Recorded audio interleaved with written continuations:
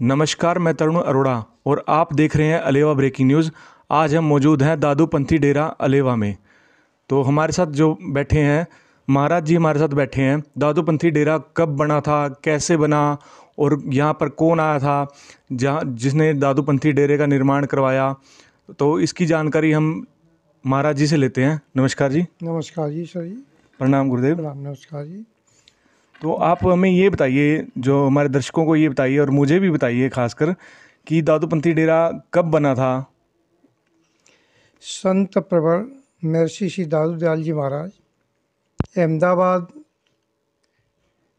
उनका कांकरिया तालाब से प्रभु के दर्शन करके संत बने। उन्होंने तपस्याएँ की, राजस्थान सिरोई करडाला धाम बैराना नारायणा, आमेर और सांभर। और उनके एक शिष्य बने। उनमें से रतिया जो हरियाणा में है पहले पंजाब हुआ करता था। जी। तो हरियाणा अब बना है तो उससे पहले पंजाब था उस पंजाब के रतिया जो आजकल फतेहाबाद ज़िले में है। जी। वहाँ पर बाबा हरिदास जी महाराज दादूपंथी बाबा बनवाई दास जी महाराज दादूपंथी वे दादू जी महाराज के एक सौ बावन शिष्यों में आते हैं। जी। उनके एक शिष्य बाबा छबिल दास जी महाराज जो बाबा बनराज दास जी महाराज के शिष्य थे। अलेवा उसमें गाँव आबाद नहीं था जंगल हुआ करता था। उस जंगल में आकर के यहाँ गुफा है जिसमें उन्होंने भजन किया साधना की। एक बार राजा मान सिंह यहाँ पर जो डेरे में गुफा है जो इसी में भजन किया हाँ जी उसी में भजन किया था। और एक बार राजा मान सिंह जब यहाँ आए आमेर से तो उन्होंने सत्संग किया बाबा जी का महल बनाने की आज्ञा दी। जी। महल जो बना जो गुफा के ऊपर प्राचीन संत बताते हैं कि एक ये तीन मंजिल का था जंगल हुआ करता था। उस समय ये बना स्थान। तब से अनवरत इस पर जो है पंद्रह पीढ़ी पहले महंत परंपरा चलती आई है। सोलहवीं पीढ़ी पर मैं वर्तमान में हूँ महंत रामदास दास वेदांत से आचार्य। तो बाबा जी सोलहवीं पीढ़ी में हो। सोलहवीं पीढ़ी में हूँ। तो उस समय गाँव आबाद नहीं था। चौदह वर्ष के बाद गाँव जो आबाद हुआ है। जी। अलीबा मतलब गाँव उनके आने के चौदह वर्ष बाद। बाद जी। तो उस समय तो कुछ सन वगैरह आपको कुछ याद है? कोई ग्रंथ में लिखा हो हाँ जी ग्रंथ हैं। उनमें पीढ़ी परंपरा दी हुई है। जी। और हस्तलिखित ग्रंथ है पुराने संतों की जो उन संतों ने यानी मतलब- शिक्षित थे। कौन से सन में बसा था अलेवा गाँव? ये अलीवा गाँव जो है चार सौ छियासी वर्ष हो गए। चार सौ छियासी चार सौ छियासी वर्ष हो गए। तो इसमें आप देखेंगे कि नारनौल से आकर के गाँव जो है अलेवा आबाद हुआ है। साधन पट्टी पहले आकर के जिन्होंने जो है मुद्दी गाड़ी है जी जी। वो आबाद हुए हैं। उसके बाद जो है दूसरे जैसा कि बाबे धोने वाली वीडियो में भी बताया गया था कि साधन पट्टी पहले बसी थी। तो उस समय जब जंगल हुआ करता था जी। तो उन महापुरुषों ने यहाँ पर तपस्याएँ की। ये स्थान अनवरत आबाद है। इसकी कई ब्रांचें हैं। वहाँ पर भी उन गाँव में भी जो उनकी लिखित हैं और जो हमारे यहाँ गद्दी परंपरा रही है। जी। बड़ी गद्दी हमारी नारायणा धाम डिस्ट्रिक्ट जिला जयपुर में है। जी। वहाँ राजस्थान में। राजस्थान में। वहाँ पर बीसवीं पीढ़ी के वर्तमान आचार्य हैं श्री गोपाल दास जी महाराज। जी। जगत गुरु श्री गोपाल दास जी महाराज वर्तमान में वहाँ पर विद्यमान है। तो हमारी जो परंपरा हैं देरों की जी। उनमें जो है पंथ के महंत ही जो उनको नॉमिनेट करते हैं और बड़ी गद्दी पर जो चद्दर रस्म होती है हम लोगों की उनमें वहाँ पर लिखा पढ़ी भी होती है और मौके पर जो है स्थान पर ही लिखा पढ़ी होती है। तो वो परंपराएँ जीवित हैं मैं आपको अच्छे ग्रंथों के द्वारा इसको प्रमाणित करके दिखाता हूँ तो हूँ। ये किन जो ग्रंथ है ये कितने साल पुराना ग्रंथ है? ये ग्रंथ है जो मैं आपको अभी दिखा रहा हूँ। हमारे यहाँ पर साढ़े चार सौ वर्ष प्राचीन जी तीन सौ वर्ष प्राचीन चार सौ प्राचीन जी। जिसकी संबत लिखने का स्थान जी। और लिखने वाले का नाम और उनके गुरुओं का नाम जी। पीढ़ी दर पीढ़ी दिए हुए हैं। जी। और हस्त ग्रंथ हैं ये। तो ये किन के द्वारा ग्रंथ लिखे गए हैं? ये कई संतों के द्वारा लिखे गए हैं। अलग अलग संबत अलग अलग स्थान। कोई कानौर जी। आजकल जिला रोहतक में है। जी। कोई स्थान जो पेटवार जो हिसार डिस्ट्रिक्ट में है। कोई स्थान चरखी दादरी। जी। कोई स्थान अलेवा में। कोई जो है सिया में। जी। इस तरह ग्रंथ अलग अलग संतों ने अलग अलग समय पर अलग अलग तिथि बारों में लिखे हैं। इससे ऐसा लगता है कि दादी महाराज के एक सौ बावन शिष्यों में से बावन शिष्यों ने स्थान बनाए थे। जी। जो थामे कहलाते हैं हमारे यहाँ पर। उन थामों की परंपरा में अगर देखते हैं तो तैतालीस संतों की वाणी मिलती है। जी। बावन में से तैतालीस संतों की वाणी है जैसे रज्जब वाणी जी। सुंदरदास जी की वाणी सुंदरदास जी के सवैये पद तथा बखना जी की वाणी जगजीवन जी की वाणी ये अनेक संतों की वाणी जो है वर्तमान में उपलब्ध है। तो बाबा जी ये जो डेरा है दादूपंथी डेरा ये कब इसका निर्माण कब किया गया था? इसका निर्माण करीब 500 वर्ष हो चुके हैं जी। जब किया गया था। मतलब अलेवा बनने से आबाद होने से पहले ही? अलेवा आबाद होने से पहले डेरा था यहाँ पर राजा मान सिंह आए थे। तो देखिए पुराना ग्रंथ है बाबा जी में दिखा रहे हैं। ये कौन सी भाषा लिखी गई है? ये हिंदी भाषा है। तो मतलब पुरानी जो हिंदी इस तरह से होती है आप देख सकते हैं। जी। इसमें कई विशेषताएँ देखो हस्तलिखित ग्रंथ हैं ये जी। जो आज के समय बड़े दुर्लभ हैं क्योंकि अब तो प्रिंट के आ चुके हैं और जिन्होंने लिखा है उन्होंने यहाँ पर अपना परिचय दिया है। तो बाबा जी जो पुराने ग्रंथ है वो किस चीज़ से शाही से लिखे जाते थे? ये ये शाही गोंद इनमें कई चीज़ें मिक्स हुआ करती थी और कलम से लिखे जाते थे। उस ज़माने में जो है ये होल्डर या ये नहीं थे मोर पंख हुआ करते थे। उनसे लिखे तो कागज़ भी जैसे हाँ। बनते थे पुराने कागज़। हाँ जी। तो देखिए आजकल हम जैसे पेन से लिखते हैं तो शाही फैल जाती है या कुछ भी हो जाता है बस इतना पुराना ग्रंथ है देख लो आप आप देख सकते हैं। ये यहाँ पे इन्होंने लिखा है। मेरा चश्मा बाहर है। बे मेरा चश्मा ला इन्होंने जो स्पष्ट इसमें संबत 1833 जी। मिंग सरवदी तीज जी। तादिन पोती लिखी। लिखने वाले बाबा मायाराम जी। जी। मायाराम जी हमारे दादू पंथ के अलेवा के डेरे में एक मैन जी हुए जिनके सही पूरा हुआ था संबत 1838 में। जी। जिनके चरण आपने गुफा के पास देखे जी जी। दर्शन किए उनके चरण वहाँ पर स्थापित हैं। उन्होंने ही गाँव करमलर तहसील नरवाना जिला जींद जी। जो कि पहले रियासत पटियाला की हुआ करती थी। जी जी। संगरूर संगरूर जो राजधानी थी वहाँ पर भी इन्होंने डेरे की स्थापना की थी बाबा मायाराम जी ने जो वहाँ के शिलालेखों पर गाँव के जो है गौरव पट पर अंकित है। तो इनके जो है जैसे संबत अठारह सौ तैतीस जी। मिंग शरीफ मिंग सरवरी तीज तादिन पोथी लिखी। जी। पोथी संपूर्ण भवेद। शुभ स्थान अलेवा जी। चौरासी बारह संतों की वाणी संपूर्ण भवेद। मिंग सरवरी तीज तादिन पोथी लिखी। जी। संपूर्ण हुई। स्थान अलेवा। जी। पोथी लिखतम बाबा मयाराम जी। बाबा रामधन जी का शिष्य। बाबा रामधन जी बाबा श्यामदास जी का शिष्य। जी। बाबा श्यामदास जी ये दो हुए हैं। का शिष्य हृदय। हाँ हृदय राम जी महाराज। जी। जी देखिए आप स्पष्ट आप पढ़ सकते हैं। जी। हृदय राम जी जी। बाबा रामदत्त जी का शिष्य। और रामदत्त जी बाबा के बाद? दयाल दास जी का शिष्य। दयाल दास जी बाबा श्याम दास जी का शिष्य। जी। श्याम दास जी बाबा छबील दास जी का शिष्य। जी। छबील दास जी बाबा बनवाई दास जी का तो देखिए 400 साल भी इस बाद भी इस ग्रंथ को देखिए कितनी आसानी से पढ़ा जा सकता है। आप भी इसे पढ़ सकते हैं शुद्ध हिंदी में लिखा हुआ है। अच्छा बाबा बनवाई दास जी बाबा स्वामी दादू दीनदयाल जी जी। परम गुरु अविनाशी उनका शिष्य जो। बाँचे पड़े ताई प्रणाम सत्रहवा जी। ये उन्होंने पहले से पीढ़ियाँ का उल्लेख किया है इसमें। जी। जिनसे इनका दूसरा उल्लेख प्रमाण बताएँ कि जैसे जो हमारे यहाँ गद्दी है जी।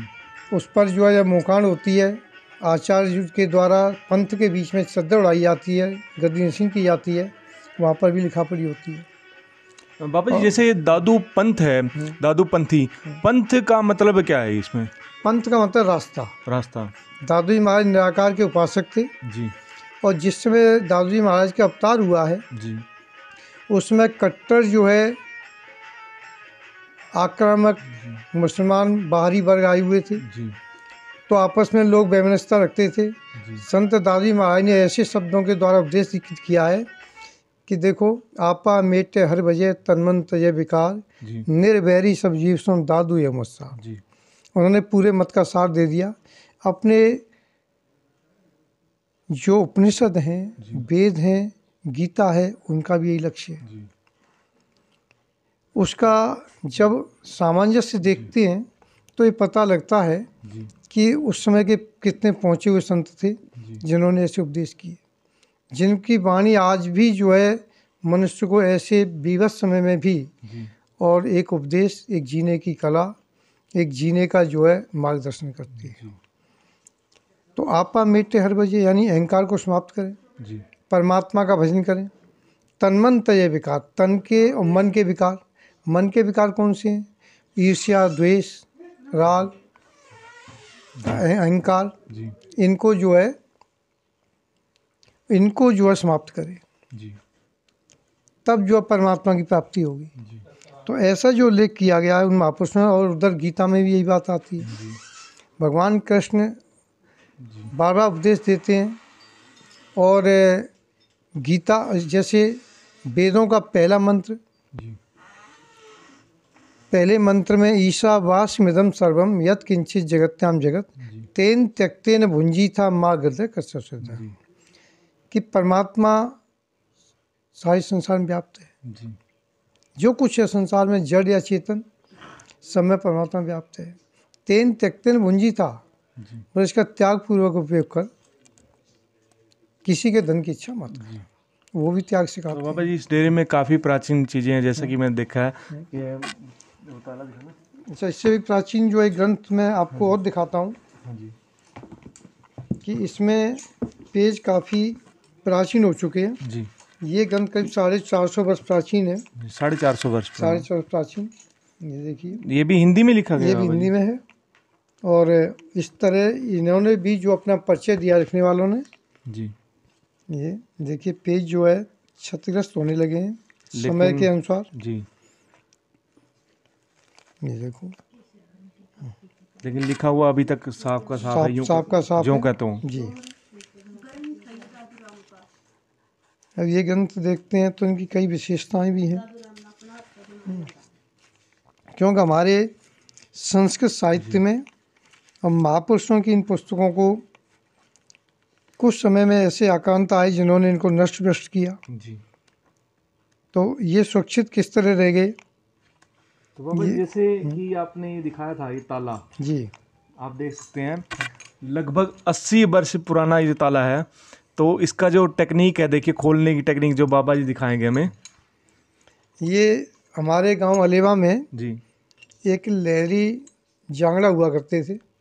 जी। उनने जो बना के दिया था मुझको। तो लहरी जांगड़ा अपने गाँव अलेवा का बनाया हुआ ये ताला है उनके द्वारा बनाया गया ताला। और इसकी चाबी भी स्पेशल है ताला भी स्पेशल है। देखिए इस तरह की चाबी आप देख सकते हैं। क्या टेक्निक है ये? तो बाबा जी इसके यूज़ करके दिखाइए। ये ये बंद हो गया। जी। लॉक हो गया ताला। और ये इसका जो है घुमा करके इसको इस प्रकार से खोला जाता मतलब है। इसको अगर दबाव देंगे पीछे से दबाव देंगे तो खुलेगा। तो खुलता है। जी। न तो इसकी चाय बनती है और न जल्दी टूटने में आता। जी काफ़ी मज़बूत ताला है। मज़बूत ताला है। तो वो लहरी जो जांगड़ा हुआ करते थे तो देखिए आजकल उनके बच्चे जीनवे हैं। जी। तो उन्होंने मेरे को बना के दिए थे अब से तीस साल पहले जी। जांगड़ा जी ने। एक बेंत बना के दिया था एक ये ताला उनकी एक जो अब प्राचीन धरोहर मान लें इसको अपने पास मौजूद है। जी। ऐसा जो हमारे गाँव में कलाकार भी हुए हैं। जी। और गाँव में जो गायक लोग भी हुए हैं पंडित ज्ञानी राम जी। जी। जिन्होंने अनेक जो है हरियाणा भाषा में कविताएँ लिखी हैं। पंडित माई राम जी हुआ करते थे। पंडित लक्ष्मी चंद के अधिकतर भजनों का उल्लेख उन्होंने उसमें किया है। तो अपनी अलेवा की जो भूमि है ये कुरुक्षेत्र के एरिया में जी। आती है अट्ठाईस कोस के एरिया में जो कि धार्मिक भी है श्रद्धावान भी है और इतना बड़ा गाँव होने के बाद भी लोगों में जो है किसी प्रकार का द्वेष भाव नहीं है। जी। ये उन महापुरुषों की बड़ी कृपा है जिससे ऐसा कार्य चल रहा है। जी। तो बाबा जी जो पुराने ग्रंथ है वो भी दिखाइए दर्शकों को। जी। तो देखिए दोस्तों इस वीडियो को ज़्यादा से ज़्यादा शेयर करें ज़्यादा से ज़्यादा लाइक करें। जो पुराने ग्रंथ हैं हम आपको दिखाते हैं वो गुफा भी दिखाते हैं जहाँ पर भजन किया गया था।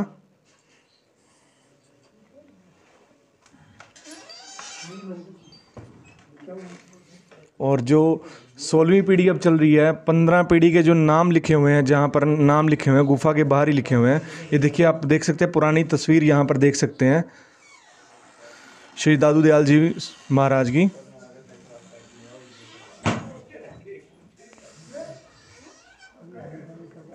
इस वीडियो को ज़्यादा से ज़्यादा शेयर करें, ज़्यादा से ज़्यादा लाइक करें। तो बाबा जी हमें दिखा रहे हैं। जो पहले हम गुफा के दर्शन करेंगे, जहाँ पर जो है भजन किया गया था।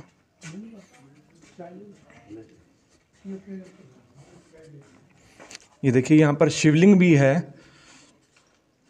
डेरे के अंदर शिवलिंग भी मौजूद है।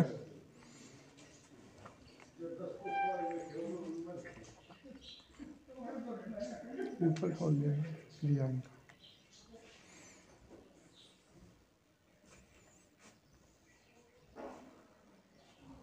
और हम आपको गुफा दिखाते हैं, जो गुफा है। ये गुफा में जाने का जो रास्ता है, यहाँ पर है। आप देख सकते हैं।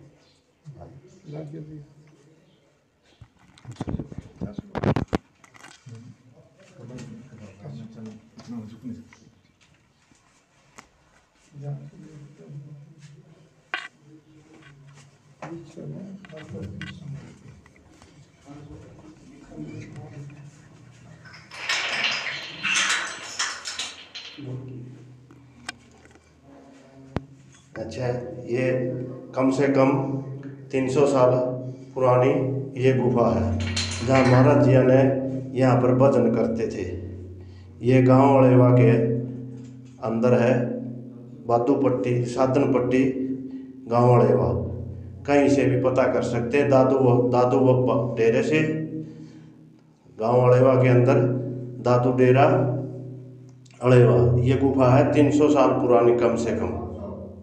पाँच सौ। साल। पाँच सौ साल पुरानी गुफा है जहाँ जो संत होते थे वहाँ भजन बैठ के करते थे।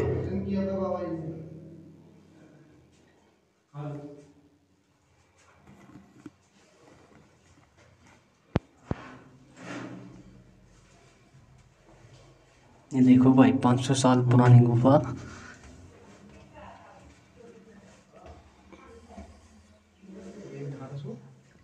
अड़तीस। संबत अठारह सौ अड़तीस संबत तो कि सम्मत अठारह सौ अड़तीस के चरण पादुका। पादुका ही बोलते हैं ना? बाबा माया राम जी। बाबा मायाराम जी देख सकते हैं आप। इस पर लिखा भी हुआ है पत्थर पर ये देख सकते हैं आप। वीडियो को ज़्यादा से ज़्यादा शेयर करें ज़्यादा से ज़्यादा लाइक करें और देखिए यहाँ पर जो है जो नाम लिखे हुए हैं कितने गद्दी चली आ रही है मतलब हाँ जी ये जो परंपरा से हाँ जी जी। पीढ़ी दर पीढ़ी। पीढ़ी दर पीढ़ी के नाम लिखे हुए हैं मतलब पंद्रह पीढ़ी के यहाँ पर नाम लिखे हुए हैं। जी। सोलहवीं पीढ़ी आप खुद हैं बाबा जी। तो आइए हम ग्रंथ देखते हैं जो प्राचीन ग्रंथ हैं तीन सौ साढ़े तीन सौ चार सौ साढ़े चार सौ साल पुराने और भी ग्रंथ हैं। बाबा जी के पास। ये देखिए। तो ये लंगर हाल है ये ये पूरा दिखा दो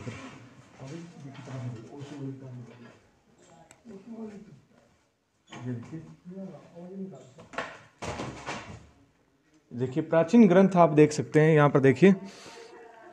स्पष्ट हिंदी भाषा में लिखे हुए हैं। ये रामचरित मानस है। ये रामचरितमानस ये कितने साल पुरानी है बाबा जी? ये करीब सत्तर साल पुरानी। सत्तर साल पुरानी। जी। जी। तो और भी ग्रंथ है देखिए हम आपको दिखाएँगे। ये देखिए लगभग 400 साढ़े चार सौ साल पुराने ग्रंथ है यहाँ पर। शिव महापुराण भी है जिसमें रत्नाकर भी है दादू दादू वाणी भी है जिसमें। देखिए सन भी लिखे हुए हैं पर।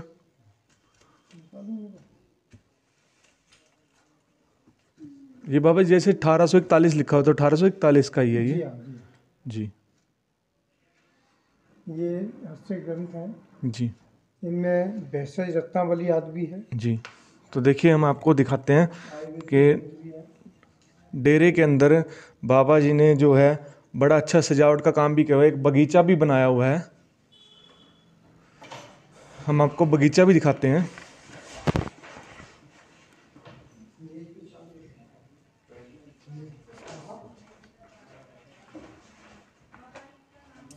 देखिए केले का वृक्ष भी है जहाँ पर पूजा की जाती है। बगीचा हम आपको दिखाते हैं।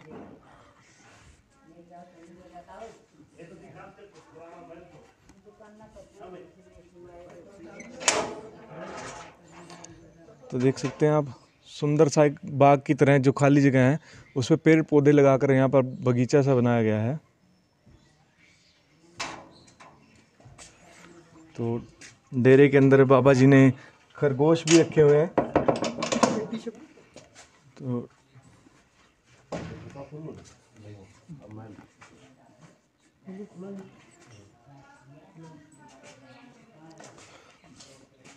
वीडियो को ज़्यादा से ज़्यादा शेयर करें, ज़्यादा से ज़्यादा लाइक करें। आप देख सकते हैं कि खरगोश भी यहाँ पर रखे हुए हैं।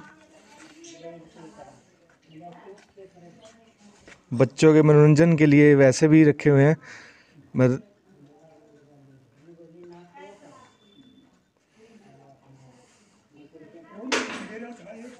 तोते और तोते भी हैं यहाँ पर, देख ले।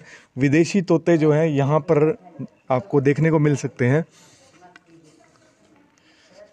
ये देखिए, विदेशी तोते।